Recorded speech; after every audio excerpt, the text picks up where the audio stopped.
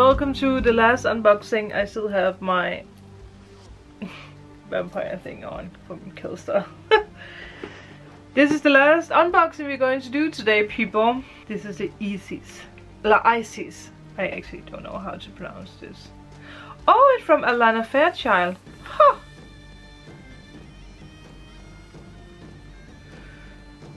I got a lot of decks from her. She's actually pretty stunning. She makes stunning tarot decks.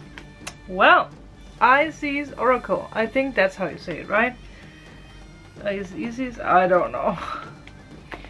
But let's unbox her. I'm very excited about this. We have dark blue. I love these colors. I want to have a wall with this color in my castle. We have paper. I'm always excited about the paper. We have a book. Very thick book. It actually looks a little bit like the rest of the, the decks that he's making. Yes, I love the background. Very Egyptian.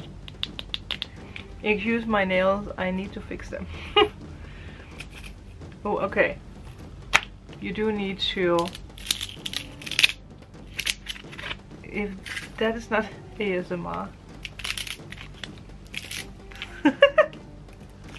Excuse me for people who are like, Ugh!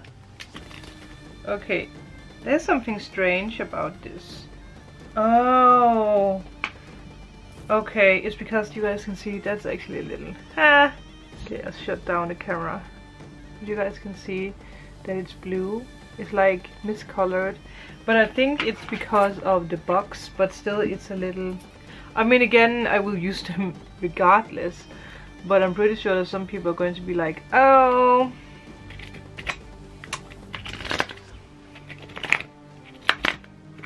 Loosen them up. They're shiny. I think the, the other deck that I got from her is actually the same. It's again, it's good quality. And like I explained, because some people don't like if they're shiny because that, you know, because of this. But again it depends on how you turn the card. Because if you turn the card like this there's nothing. But this but I will show you guys some of the cards and then we're going to pull the card for you. Wings of Isis. Uniting with the angelic self. Whoa. That is not powerful. Whoa truths unveiled unveiled. The revelation of isis. Damn. I do adore this uh, deck already. Let's say one more. The luna queen. She of the celestial crescent. Oh damn. Oh once in a blue moon. Mm-hmm well, you guys know it's coming up soon at Halloween. But I will show you guys all the cards and then after I'm going to pull a message for you. So I will show you them show them now and then I will see you guys after.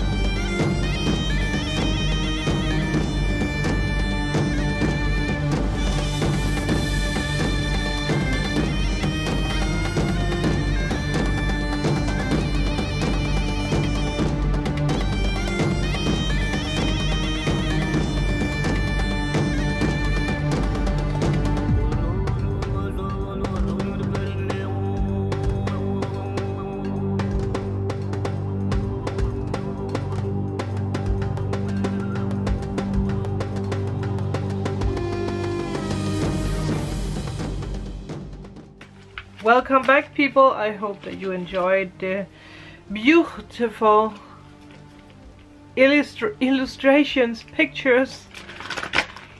Now we shall pull a card for you. So let's see what is the message for people. That is way too many cards, but there was one, two here.